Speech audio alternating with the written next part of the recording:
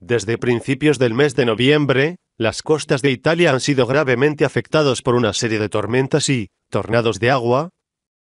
El último de estos tornados sobrevoló la provincia de Lecce, en el sureste de la península, dejando numerosos daños en la localidad costera de Tricase. Hasta el momento no se han reportado heridos o muertos por estos fenómenos. En redes sociales fueron difundidas imágenes en las que se muestra el momento en que el tornado destruye un restaurante en la costa italiana.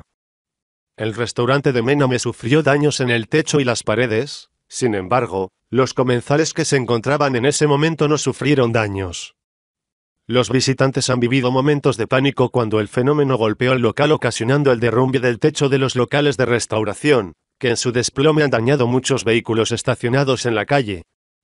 El tornado ha dejado desperfectos también en el centro de Tricase, en la iglesia de Marina Serra, viviendas, árboles y carreteras, que han quedado bloqueadas debido a la caída de objetos, señales de tráfico y ramas.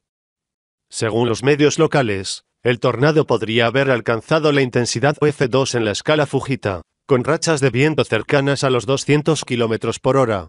Aseguran no tener precedentes de eventos tornádicos de esta magnitud en la región de Puglia.